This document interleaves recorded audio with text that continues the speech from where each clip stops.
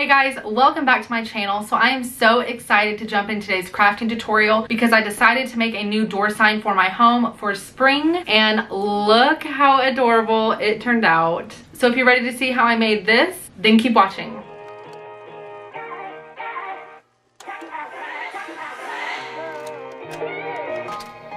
Guys, so for this craft, you're gonna need quite a few things. You're going to need some type of wooden round.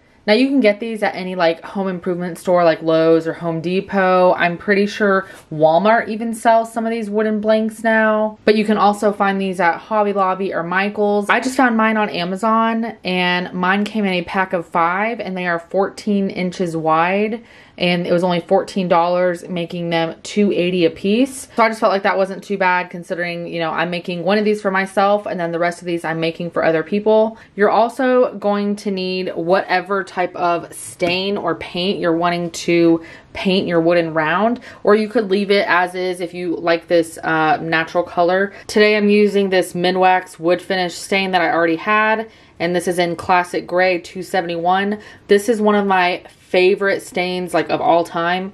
So I always have this laying around, but I'm going to be using this today on this wooden round. But you could obviously stain it whatever color you prefer, or you could just paint it if you don't want to stain. I'm also going to be using some paint to actually paint on my design and my words. So I'm just using Apple Barrel in the color Snow White and this is just matte acrylic paint. So this is what I'm going to be using today. So with that being said, you're also going to need a paintbrush if you are using paint and you're also going to need some type of brush or rag to stain your wood. I'm using just this chip paintbrush. This is what I prefer using whenever I work with stain. And then we're also going to be using some Mod Podge for just a quick little tip that I have for you guys anytime you are using like a stencil to paint. But we'll talk about that later, but I'm using some Mod Podge for this little trick. Now, for those of you that are going to be freehanding your design or painting your own words on there because you don't need a stencil and you're just good at freehanding, then this doesn't apply to you.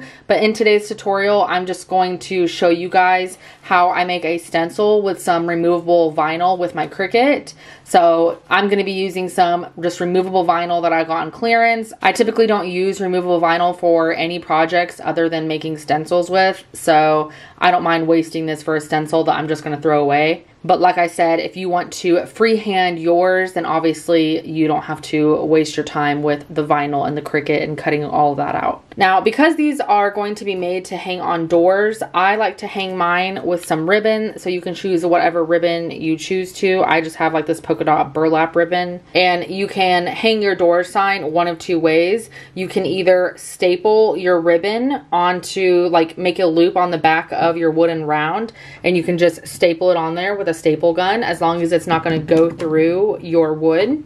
Or you can use a drill, drill two holes, tie a knot in one end, put it through the hole, put it through the other hole, and then tie a knot in. So that's just like a handle that the sign hangs from. But I'll show you what I do later. And then you don't have to have this, but just some extra decoration. I have this eucalyptus garland, and I just typically get the garland because I chop it up into several pieces so I get the most for my money. I got mine at Hobby Lobby. This was $20, but I waited until this was 50% off. So I got this for $10 and it's a six foot garland and I can decorate several signs with this one garland. All right guys, I'm super excited to jump into this craft, so let's get started.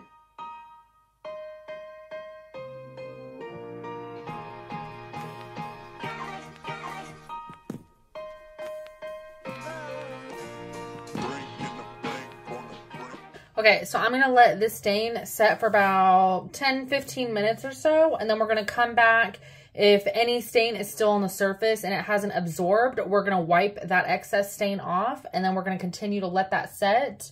Or at least that's what I would do, but I already prepared ahead of time and I already did one a few days ago. So this one is perfect and dry and ready to go. So we are ready to craft on this board. So as you can see here, this is how the stain turned out. I love this stain. Isn't this so pretty? It's kind of like a warm gray. So I'm gonna get this one out of the way so I can go dry somewhere else where there's some better airflow and ventilation. So it doesn't stink up my craft rooms because I don't wanna have to have my windows open all day up here. And then we will get to decorating this. Okay guys, so like I said, I had stained this one a few days ago, so this one is good to go. We are ready to decorate this. So now I'm ready to go cut out our design out of our removable vinyl with our Cricut. So let's go do that at my other desk. Okay guys, so I'm on my Cricut design space here and I just typed out welcome and I'm using this font called Cream Candy that I got off of dafont.com, which I will link down below in the video description for you guys. So I just selected this whole text box and I'm gonna click weld down here so that it welds this as one word. Now, whenever this happens, I'm gonna show you like a cool little trick that I do to fix this because we don't want that to be solid, obviously. And the reason I even click weld in the first place is because I want all of these letters, anytime you're doing like cursive or scripty fonts, if you want your letters to touch, you want this to be one whole piece of vinyl. It's one continuous thing to weed out and paint it. I mean, you could paint these separately, I guess, but why would you do that when you could just cut it all out in one piece? So I'm just going to undo that weld. And when you click the word as a whole text box, like this whole thing is one piece because it's a whole text box. So we're going to ungroup these letters so that instead of one word, they are individual letters. So I have my whole text box selected here. I'm going to click ungroup up here at the top. And now you can see over here, instead of my one text box, now they are individual letters. So now I'm going to just move that O out of the way for just a second. And then I'm just going to select these letters on top, leaving the O out. Now I'm going to click weld. So now all I have to do is just slide my little O into place here and then select the O and then my other letters that are already welded together and I'm just going to hit weld again. And now our O is attached. Now it's one piece. It's going to cut this out as one piece. So now we are ready to cut this out. So I'm making mine 11 inches. Like I said, the wood is 14 inches, so I want there to be space on both sides of this. But I like this size, I like this, so I'm just gonna hit make it, and then I'm just gonna hit continue. So I just selected matte vinyl because it is a matte removable vinyl, but it just cuts out like regular vinyl. And now we are ready to actually cut our vinyl on our Cricut.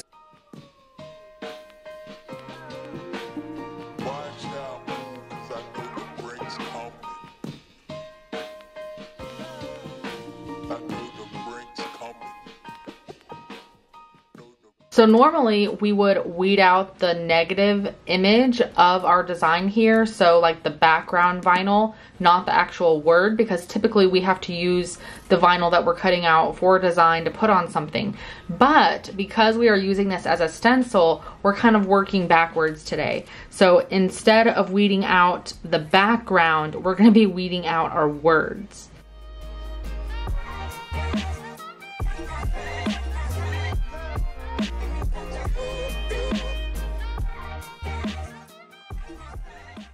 Isn't that so satisfying?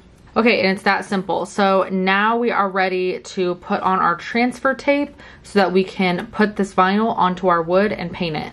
But first, we're gonna cut the other part of our design out so that we can paint everything at once. Okay, so for the second part of our design, I just have a blank canvas. I'm gonna go to images and I already typed in leopard spot. So I just wanna look for some like leopard print that I can just cut out.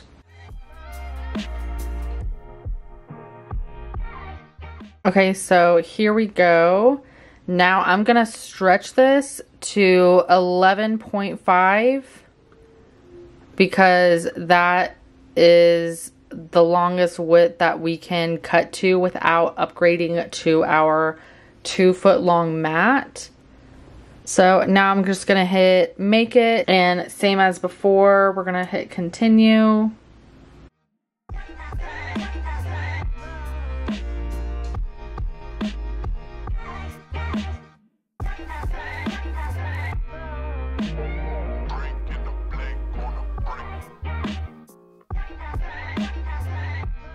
So the Cricut finished cutting out our leopard spots into our vinyl here. So we are ready to weed this out.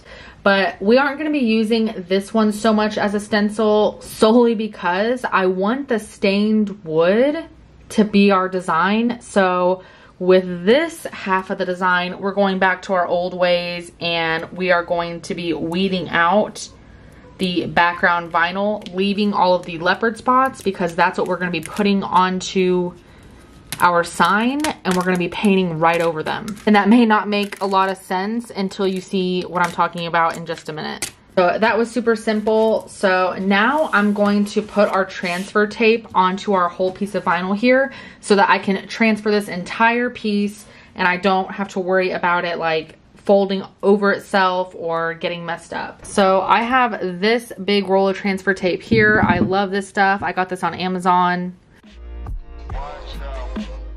All right guys, now I could use transfer tape and transfer over all of these leopard spots, but it wouldn't go all the way to the edge because this is only 11.5 inches, if you don't remember, and this is 14 inches wide if we go all the way up to that center point. So I chose not to go all the way to that center point, but as you can see, they're still not gonna go all the way to the edge. So I'm just going to hand pick the leopard spots that I want.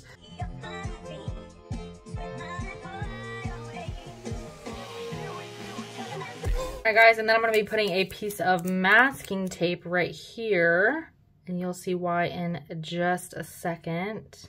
And I also like to make it just a little bit longer than the actual sign so that I can kind of tape it to my table and it won't be like shifting around on me while I'm working on it.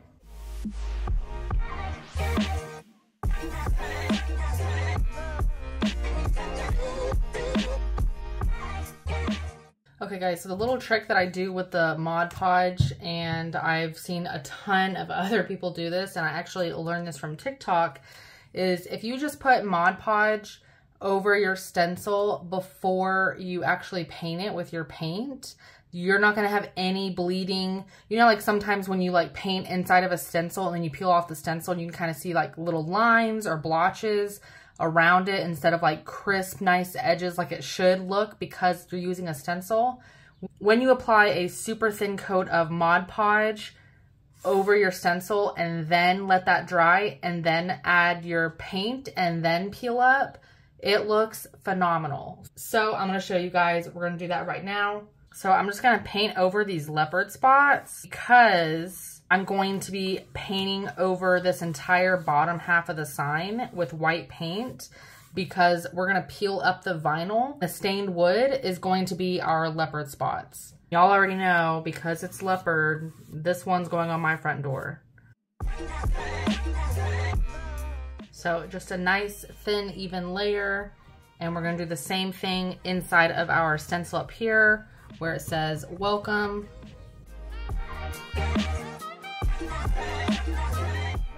Okay guys, so now that our Mod Podge is dry, now we are ready to put on our paint. So I'm just going to pour the paint directly on here.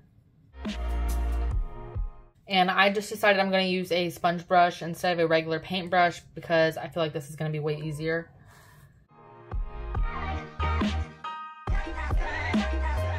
I almost forgot to put paper or paper towels down so that I don't get paint all over my table, which isn't a big deal because it's an epoxy tabletop, so I can just clean it up with a wipe pretty easily. But I'm just doing a pretty thin coat of white paint.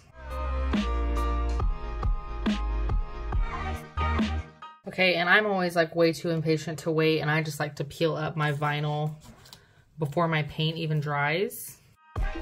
You just gotta be careful so that you don't smear it.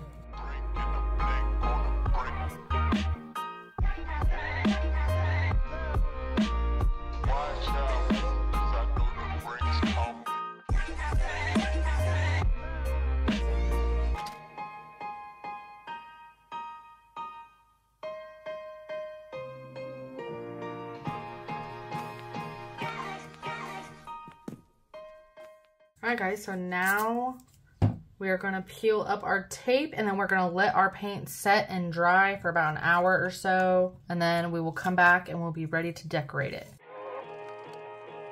And I actually decided that I want like another thin white line right here um, just to add something else because I feel like I should have done the welcome a little bit lower, but because I didn't, I mean, that's okay. But I just need to add something here because I don't like that it's like a whole inch in between the word and my leopard bottom.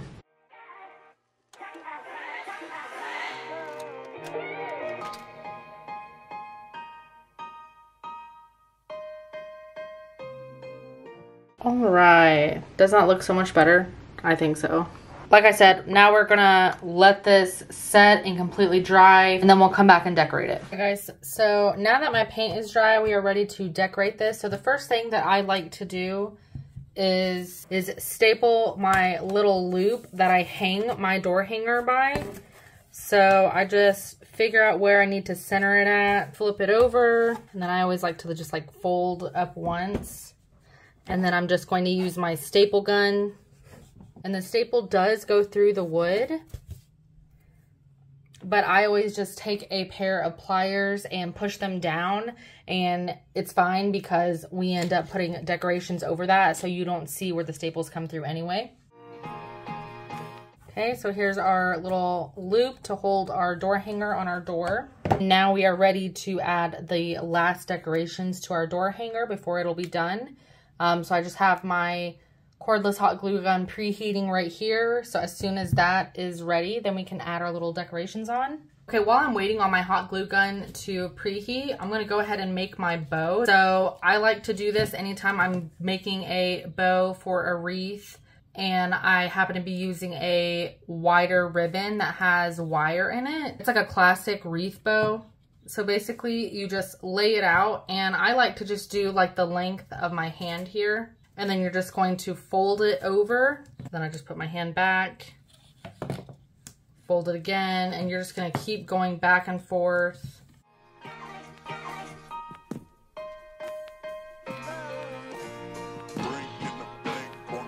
Okay, and then I just kind of twist mine and pinch mine in the middle.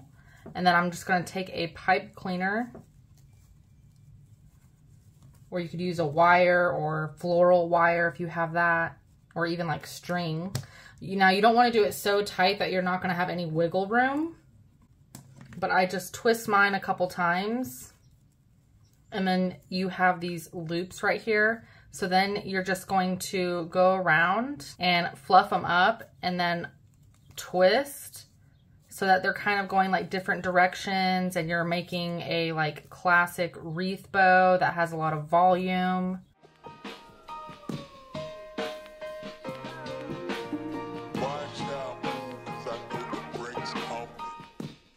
Okay, and then we'll fix it a little bit more once we have it glued down, but that is pretty much the bow.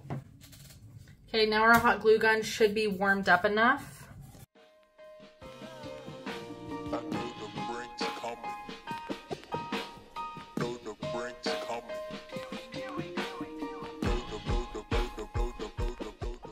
And then I'm just gonna hold my bow down with my scissors so I don't burn myself pressing it into that hot glue. You can use a staple gun, but just know you'll have to, you know, push down the ends if it goes through your wood, if your wood is not thick enough like mine is. But I always like just going the easy route and doing hot glue, especially when it's like decorations for my own home. So now that it is all set, now I'm going to fluff up this bow.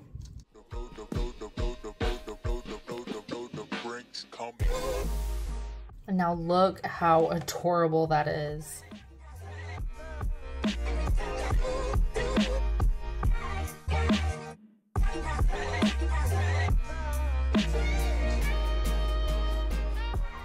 I love how my new door sign came out, you guys. I think it is so adorable. It's so me and I think honestly, it's not just a spring door sign. I mean, I could have this up all year long, but I am just so happy with how it came out. So as always, you guys, I hope you enjoyed this video. If you did like it, be sure to let me know by giving me a big thumbs up. If you have any other questions or comments, feel free to drop a comment down below. I would love to hear what you guys think. And if you're not already subscribed to my channel, be sure to click that subscribe button so you don't miss out on any other crafting tutorials.